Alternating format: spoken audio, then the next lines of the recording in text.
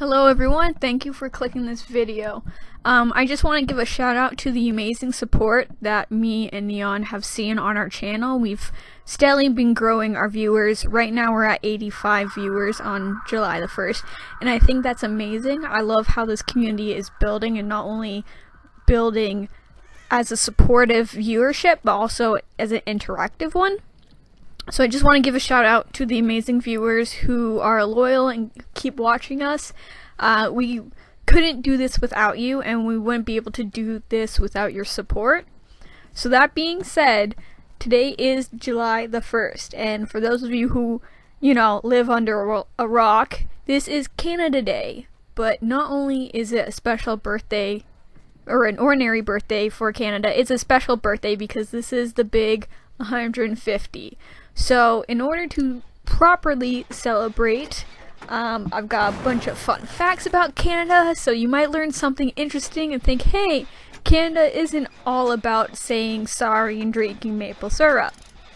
That being said, we still do that stuff, but I thought I might spice up this video a little bit because it's just some footage that I have, um, and the footage itself is in no way related to Canada or how nice we are but it was just something that I had kind of in the vault and I hadn't planned on releasing it anytime soon. So with that being said, let's get started with our little fun facts about my home and native land. Uh, that being said, my parents immigrated from Scotland, but I was born in Canada. And I'm proud to call myself a Canadian. I love this country and what it stands for. And a lot of people say like, oh, Canada's boring oh, Canada doesn't do anything. Canada is, you know, this sleeping nation. And I don't think so, because Canada is known for their citizens being helpful and polite and just kind in general. And I think for a country and its people to have that kind of reputation is amazing. Uh, because I've traveled outside of Canada, and when people hear that I'm Canadian, it's not like, oh, you're Canadian? It's like, oh, wow, you know, your people are so nice, or I visited and was helped. And to have that positive kind of connotation and stereotype towards us is something that we've worked really hard to establish and something that we're extremely proud of. Um, that being said, let's start getting into some of these facts. There's a lot of them that I myself as a Canadian didn't know. Some of them I'm not surprised. Um, but hopefully you'll pick up one or two fun facts and the next party that you're at you can say, hey, did you know this about Canada? And boom, life of the party, you'll get all the chicks or dudes. I mean, like everyone will worship you. It's just fun party tricks or fun facts to impress your friends or strangers. I don't know. So, Canada has 36 million people in total, which doesn't seem a lot considering that Canada is the second largest country in the world. And because of the low number, we have the world's fourth lowest population density per square kilometer. And the reason for this is that a lot of our landmass are small islands way, way up north. And these land ma masses are almost inhabitable they are freezing cold, covered in ice. Like that's the stereotypical idea of Canada that it's freezing your butt off cold. So because there's so much landmass up there that's not being populated, that's why we have such a low density compared to how large our country is because Canada also has the longest coastline of any country in the world. So it's kind of surprising to be the second largest country but have such a low population, especially when considering the population of America, you know, who's right below us. People always say Canada's America's hat. But, you know, that being said, 31% uh, of Canada is taken up by forests. Unfortunately, I'd like this number to be a little bit bigger, you know, uh, with development whatnot. I'm not surprised, but at the same time, considering how cold um, our land is, 31% might be a pretty decent sustainable number. 20% uh, of the world's fresh water is in Canada, and Canada has more lakes than all other countries combined. And that's just once again, kind of an astounding fact. You don't really think about that, especially when looking at a map. Our lakes are very small but very numerous, and that's why we have so much.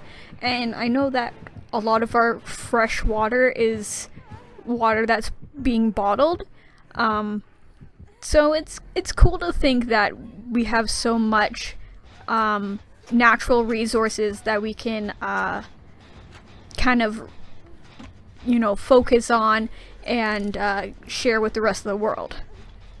So in terms of wildlife, we have 2.4 million caribou, which also are known as reindeer. Yes, reindeer are actual animals. They're not fairy tale make believes. I know there are a lot of people in the world who think that reindeer are myths, just like Santa Claus. Nope, they're both real. Reindeer are actually animals that, you know, live in Canada. That's another reason why I should visit Canada, because it's a magical place full of snow and maple syrup and reindeer.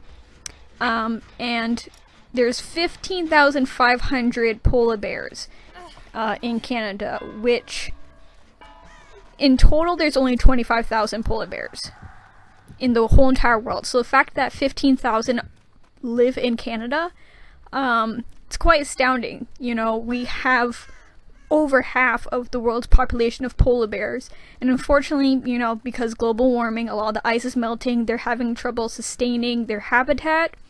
So we Canadians, I think, are more aware of that fact because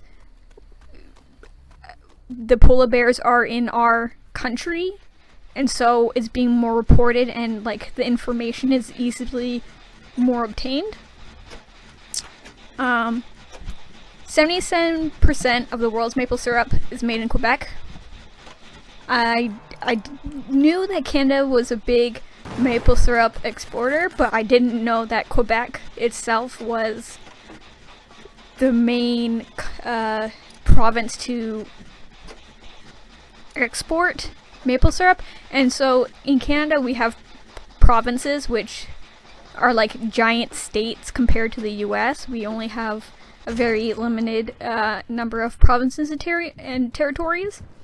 Um, Canada has more donut shops per capita than anywhere else. Kinda not surprised because of our Tim Hortons obsession. Uh, Tim Hortons is a coffee and donut shop, um, basically an American or a Canadian version of Dunkin' Do Donuts. And recently they've started expanding into the UK, which I think a lot of people are really happy for because Tim Hortons is also um, quite inexpensive is is the word I'm looking for. It's it's good food for a really low price. So, you know, if you meet a Canadian and they're not addicted to Timmy's something or Tim Hortons coffee or hot chocolate, then they can't be like a true Canadian. It's just not allowed.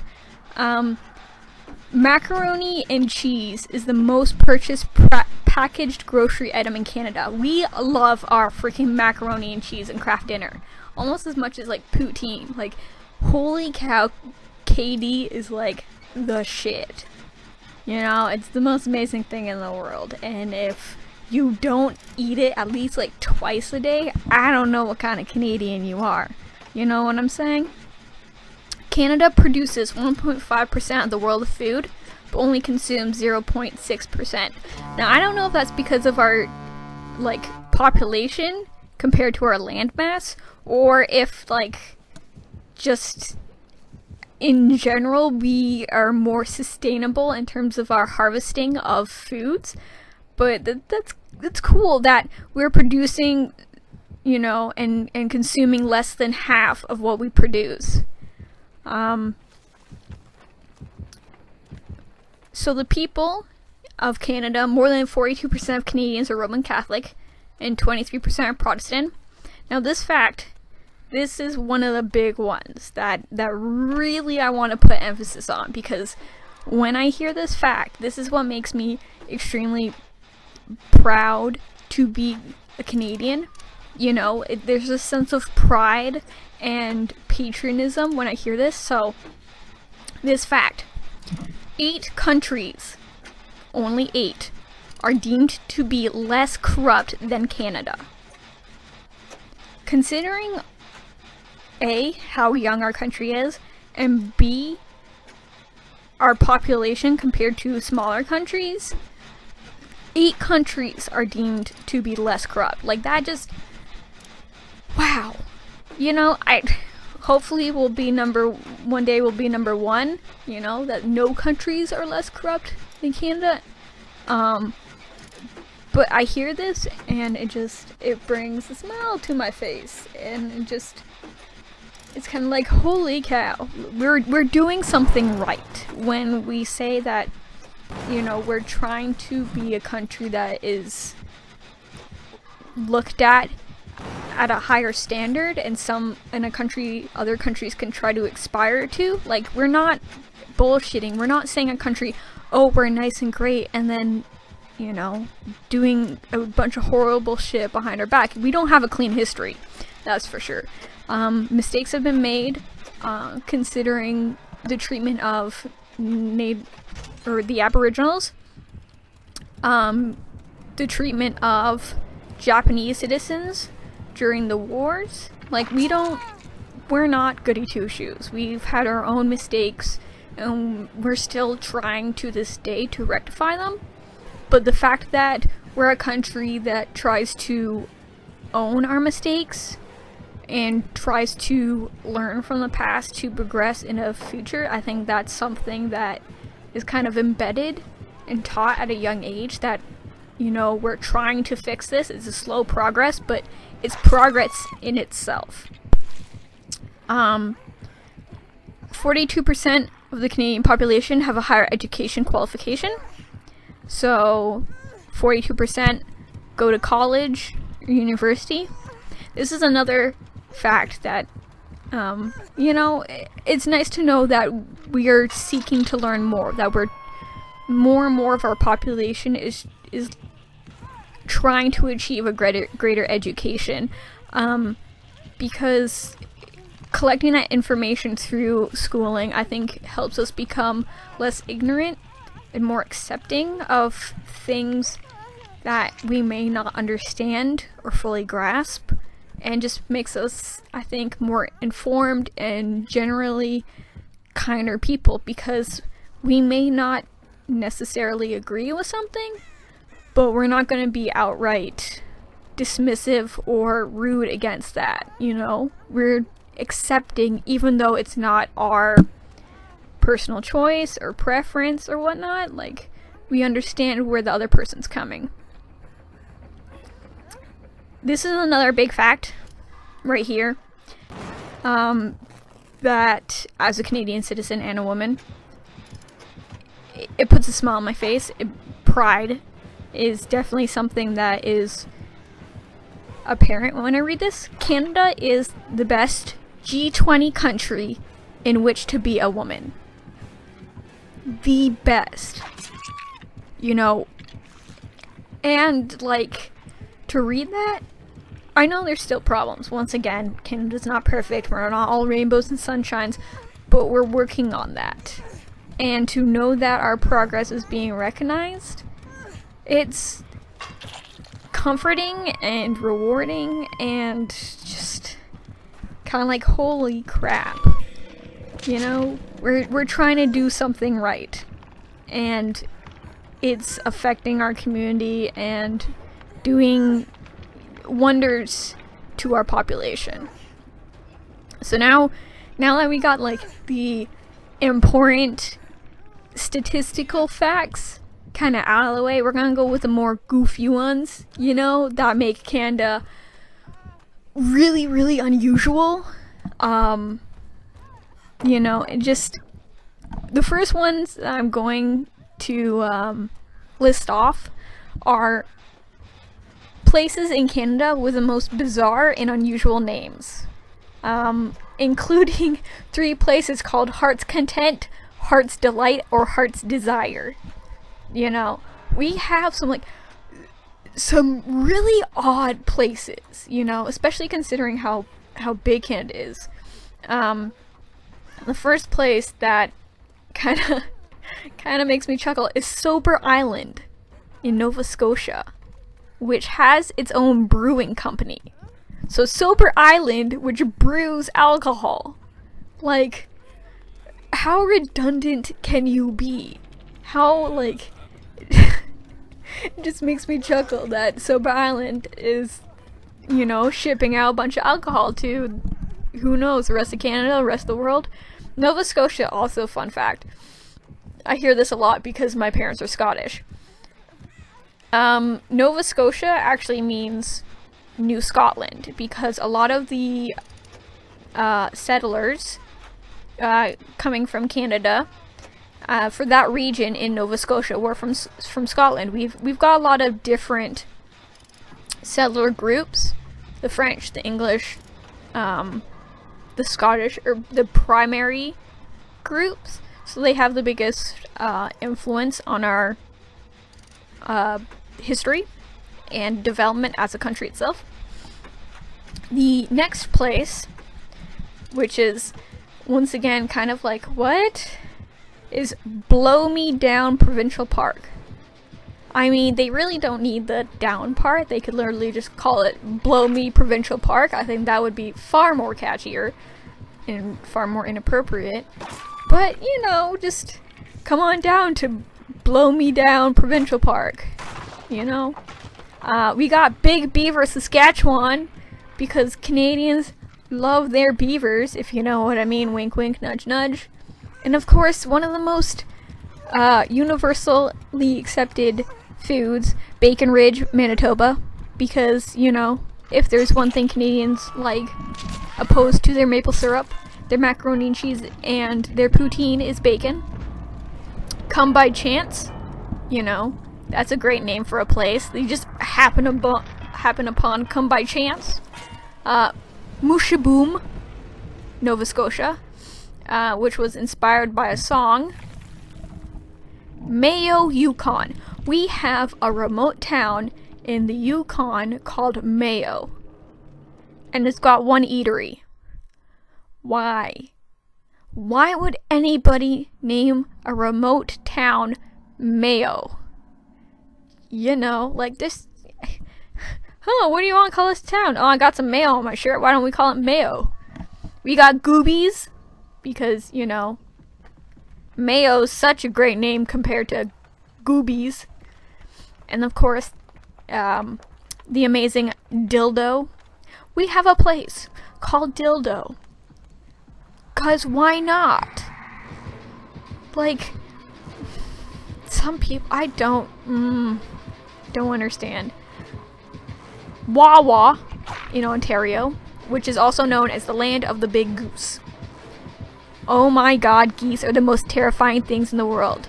You're like, oh, hey, look, it's a giant mutated duck thing, and you go close and it starts hissing at you. It's, it's a freaking bird that hisses at you, and it will attack you.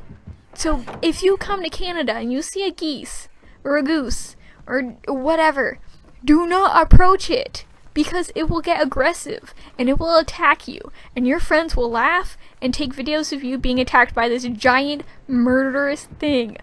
It's not going to be fun. And You're going to be scarred for life. You're going to have to go to therapy and god, it's just it's a scary ass thing. I'm going to tell you that right now. Uh, Ontario, which is the province that I currently live in, also has Crotch Lake. Because, you know, if dildo wasn't bad enough, we've got Crotch Lake. And also urine in Saskatchewan. Why is everyone so inappropriate when when naming these places? Ridiculous. We also have Balls Creek in Nova Scotia and Balls Falls in Ontario.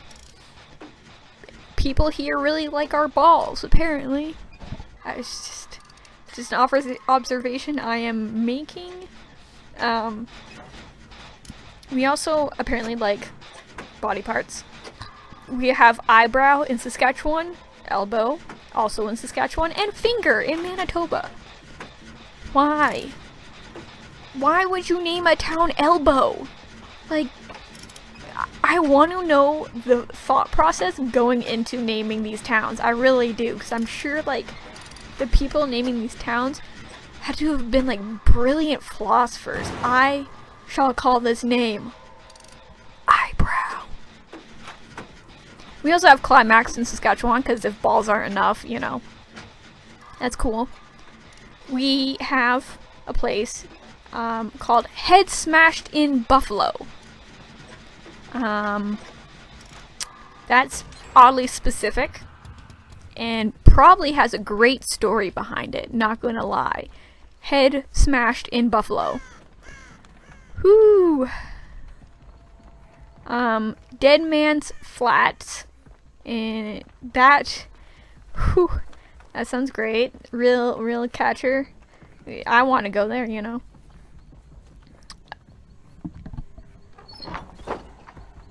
There's Stoner BC. Stone, cause, look, this was made before the whole like, hey, yo, marijuana, let's make it legal. No, he's just like, you know, stoner. We also have a town with exclamation points in the town name.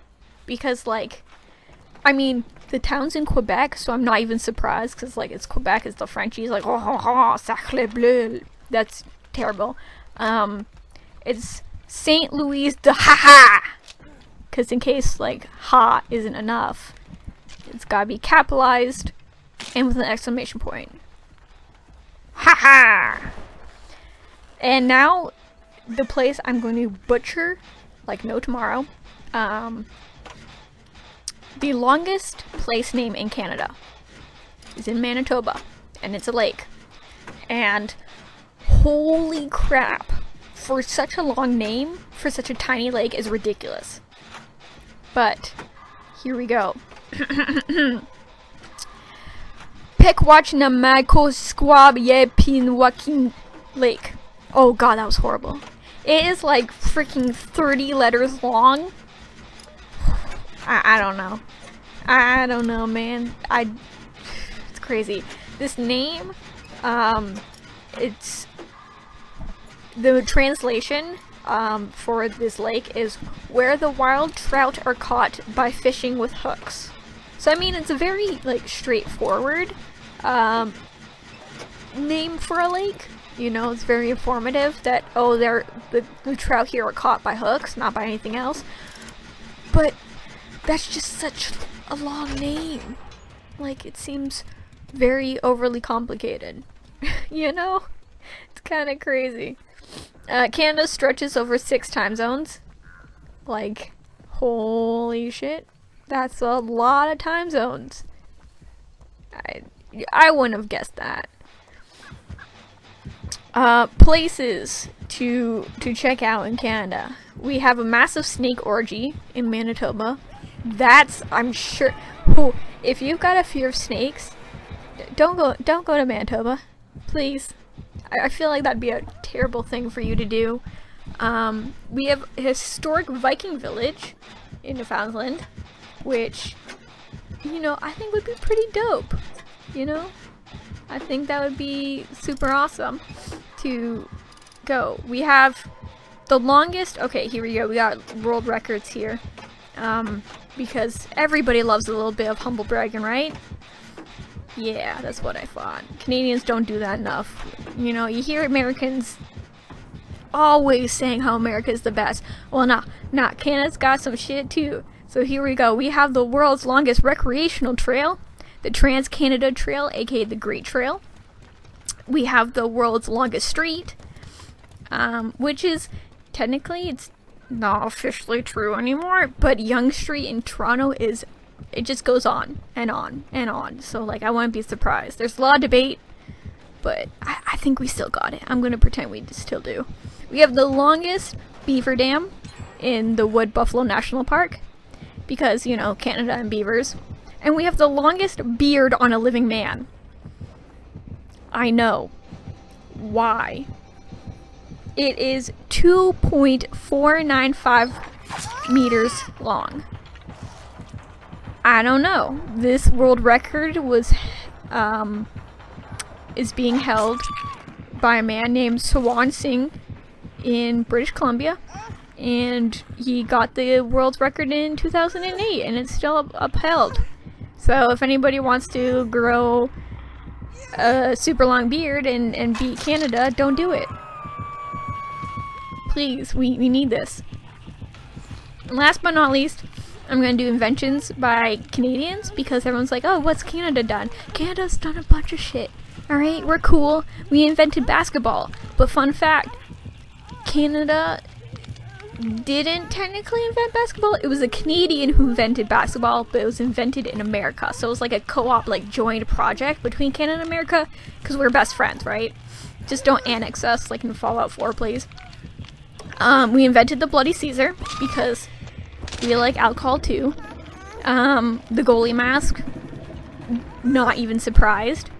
Uh, poutine, once again, it's like our national food other than maple syrup guzzling. Uh, the snowblower and snowmobile. Are you really surprised? It's fucking Canada. Like, hello? We, we kind of need this shit to survive. Well, I mean, we don't because we survived this land before that. But nowadays, like, snowblower comes really handy. Um, we invented the telephone and the walkie-talkie because we love talking to our homies, you know. You got you gotta know what what's up, what's a 411, what's crack a lacking. Um, the egg carton, the electric wheelchair, all right, and the electric organ, also all right. We got five pin bowling, and for people who don't know, five pin bowling is a Canadian invention where you bowl with five pins, not ten, and the ball is much smaller. And people are like, whoa, five pin, that sounds stupid. Nah, Nah, it's cool because unlike 10 pin bowling, it actually takes accuracy and skill to hit all the pins.